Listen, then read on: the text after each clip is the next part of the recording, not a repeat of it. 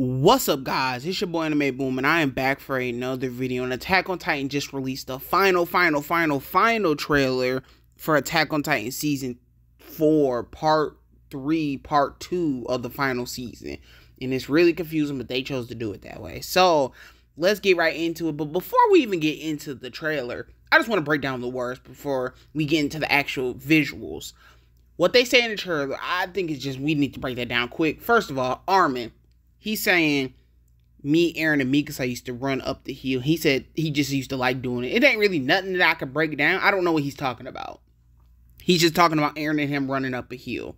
So there ain't really much that I can really break down. And Mikasa says, uh, let's say I'll see you again, Eren. And I can't break that down either. I don't know what she's talking about. But that's all I wanted to say and we'll see what happens. I want to know what that means. So let's get right into the visuals. Okay, to start it off, the scene starts off with Armin. This is when he's talking about Eren and them running up a hill, and that's what he's thinking about right now. And I don't know what that means, but in this scene, we can see Armin. He's standing around for some reason. We don't know what he's doing, but you see smoke around him. You see smoke around him. Did he just transform into the Colossal Titan? I do not know, but I will. I'm ready to see what happens because it's smoke around him for some reason. Did somebody blow up? Did he turn into the Colossal Titan? Is uh something steaming? You know, Titan steam. So we'll see what happens there. In the next scene, you see uh the scene where Eren and Armin are just looking over the book and being so happy about seeing the real world. That's that scene. In this next scene, you see something big flying over everybody. I don't know what that is, and I don't know where they are at the moment, but you can see something super big with wings flying over. Uh, you can see flying over everybody. This clip right here, you can see Mikasa using her ODM gear. We don't know where she's at, but I'm assuming she's on Eren's little final form thing. Because you see that you know they flew over. They were about to drop on Eren's uh thing. They was using ODM gear on it. So I think that's this like her fighting on the thing. Who this scene right here, it looks like you see two characters, and the next clip shows who the two characters are, but you see two characters, one person holding on to another character, and I'm assuming it's one of the characters from the group, and you just see a bunch of, I would assume, titans around them, and you see this is on Eren's skeleton thing. It looks like because it still got the little rib cage and stuff. And then you see it's uh, Jean and Reiner holding on to each other. From what it looks like, the scenes are the same scene, it looks like it's Jean and Reiner holding on to each other. And they're in a tough situation at the moment. This it looks terrifying. So yeah, like that that's what this scene looks like right now. They look surrounded and they're gonna have to use their ODM gear. So maybe the ODM gear broke or something. One of them don't have ODM gear. So yeah. This next clip right here, you can kind of see, you can see Eren's bones from the form. And this kind of was happening at the end of the season. Remember, the, the plane ran out of um, gas. The plane ran out of gas, and and you see the plane is leaving Eren's Titan form. So it looks like it might have to make a crash landing. That's what it looks like because the plane ran out of gas and stuff. And that was the why they was struggling so hard to even make it to Eren's Titan. So I think that's what it's trying to do, get away get away from all of that and land somewhere safe. That's what I'm seeing in the scene. Okay, in this next clip right here, you can see Pieck's cart Titan. You can see it holding the bombs that they got from earlier in the last season.